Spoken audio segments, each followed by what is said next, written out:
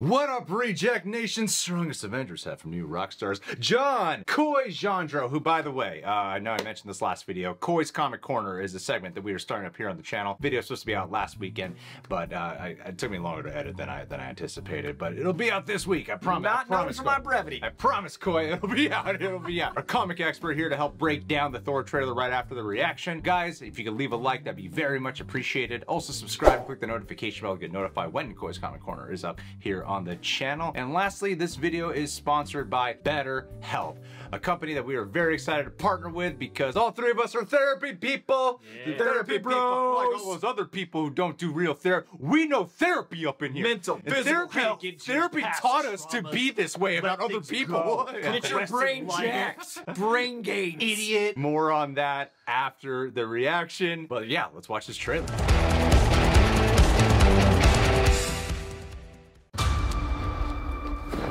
Kids, get your popcorn now. Let me tell you the story of the space Viking, Thor Odinson. He was no ordinary man. He was a god. After saving planet Earth for the 500th time, Thor set off on a new journey. Nice. Well, he got in shape. He went from dad bod to god bod. and after all that, he reclaimed his title as the one and only Thor. Oh, spoke too soon. Jane? Whoa! Whoa! Hey. Odinson. Godly are you? Your old ex-girlfriend. What's it been like? Three, four years? Eight years, seven months, and six days. Am I uh, busy. sensing feelings? well, you're right. She looks great, man. The only ones who gods I hear him. Yeah. Necrosword. is themselves. My vow. All gods will die. I will love it. Oh. I was gonna say that was very, very impressive what you did back there. Yeah. This is Damn. my first bad guy. You never forget your first. Zeus. You. Oh, the oh, color distortion. Gods have killed. You have something worth fighting for. Wow. I sense it. Give me that monochrome all day. Let's see who you are. I take off your disguise. and flick. You flipped too hard, damn it! We help him. And eventually, grape. Whoa.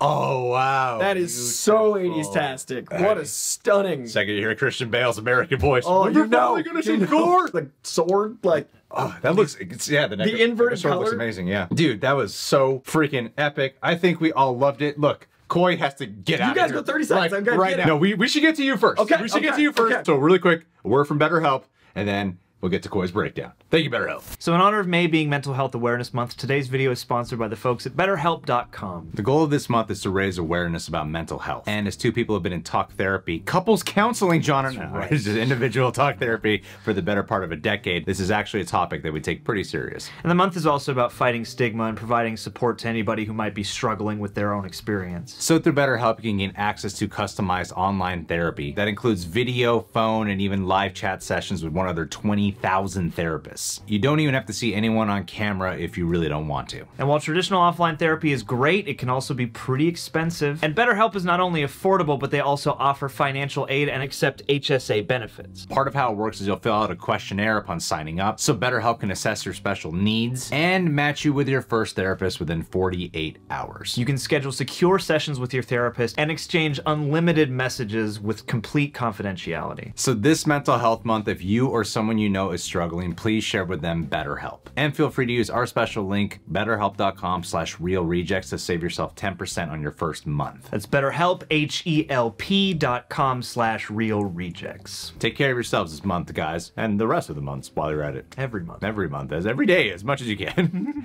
Coy, get to it! Okay, so there's almost definitely multiple Thors here. I think it all but confirms a lot of the rumors. I think that Gorr might actually be systematically taking out Thors in multiple universes. We're living in this multiversal age, and all gods must die is so iconic from the comic books. It looks like he is able to manipulate reality in at least the black and white sense, which is very much from the Esad Ribic art from the Jason Aaron run of the Thor comic books. Now, I do think we're going to see the Necro Sword invert time. I think the Necro Sword is going to cause a bit of a reality manipulation, which I think is going to allow him to take out gods with whatever power set he has. Now, I do think we're going to see a blend of Greek mythology, Norse mythology, all of these things mixing it with the MCU, and that would be a fun way to tie in different mythos in the different universes. While we can play with the universe 833 or 616 or whatever universe we got, we also have the idea to play with these different mythologies. So I think we're not only getting that, but I think that might be why it's so important that we have Jane Foster as the mighty Thor in our universe, anchoring us to the Mjolnir of our universe with the god that is unique to our space. I think there are multiple Odinsons, but I think there's only one mighty Thor, and I think that's why it's going to be really essential to tell this story this way. I also think we're going to see a lot of really interesting hijinks with a lot of mythical characters like the goats. I think we're going to see a lot of stuff with the Guardians of the Galaxy being confused about the multiverse. I think they're going to be a bit of our eye line to understand that there are multiple Thors, and most of all, I think all of this is going to be very approachable through the guise of 80s sexy Hemsworth. Yeah, definitely. Gorr the God Butcher, to me, is a character that simplicity is his strength. I think a lot of people are upset that he looks like an action figure that looks like Christian Bale. I think that's the power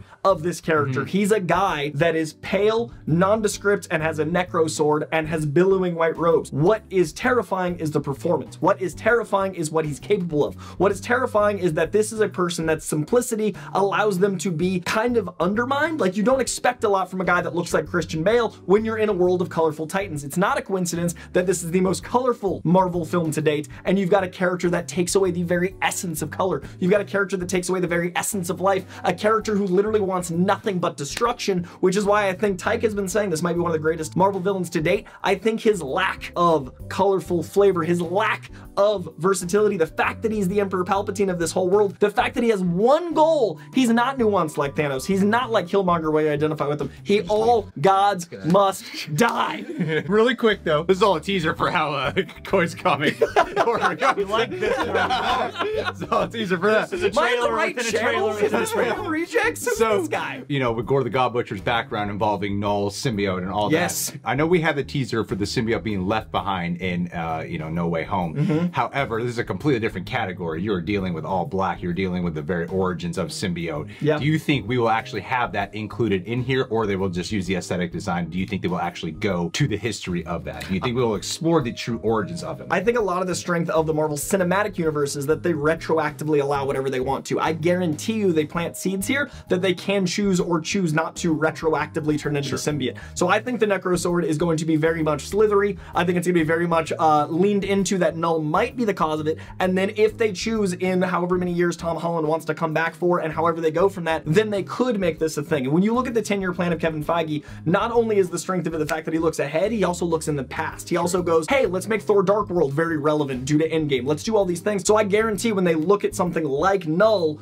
you have the seeds planted because this is all a Donny Cates joint. Donny Cates is an incredible writer, writing Hulk right now, writing Thor right now. All of those things are going to establish a world that they can pick and choose from with the benefit of hindsight. Now imagine that everything he did, but you know, just way way more editing and uh, you know, way more inserts and graphics and stuff. I just wanted to make sure you guys you knew know, we're comic just books. rushing to get this up right Jason now. Aaron, Asad Beast, buy some comic books. And most importantly, the same amount of input from both of them. yeah. All right, Coy. Look, I know you got a jet. Do you know? How to, do. do you know how to see yourself out of here? I mean, I, I can figure it out. I'm Get the looking- hell out. Good luck. Get the hell out of here. You- Go. he's Bye, got- guys. He's got tickets to someplace and, and he's running late already. He's, Almost he forgot for us. but I wanted to stay. This is awesome. Thanks Love for you, being buddy. I love you guys. See you, buddy. Bye, Reel Rejects.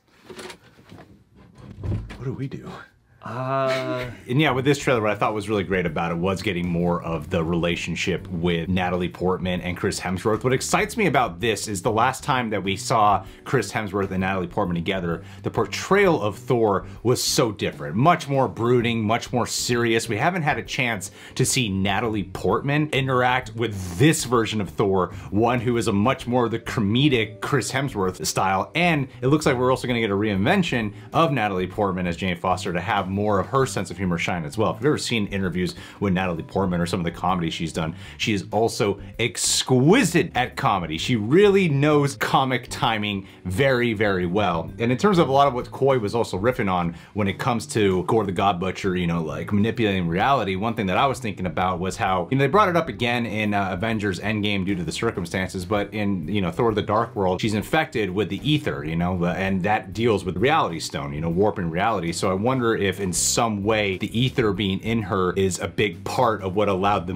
reality for her to manipulate itself into this situation where she can now be the mighty Thor. I think they would probably somehow hook that in to here. They might actually have more chemistry, Chris Hemsworth and Natalie Portman here than they did in the other Thor movies simply because they get to be more of themselves. But John, we got other good things in here. You know, we had Zeus. Let's talk about some stuff. I just really like the film styles on display here because if there's one thing that I think, uh, you know, is sort of point of contention about Ragnarok for a lot of people is that they did go full comedy, that they go full garish, and for some people that was a bit too much. And I think that this does a, an interesting job and suggests a tempering of that style and aesthetic where yes, you'll have the humor, obviously, but Gorr, by contrast, looks directly like an injection of intensity and of monstrosity. You look at the design here, it evokes things like the orcs and the Uruk-hai from Lord of the Rings, as well as obviously the comic book art that inspires Gorr. I think that that's an easy way without going too far into like extreme content that you can add something that's very chilling and very hardcore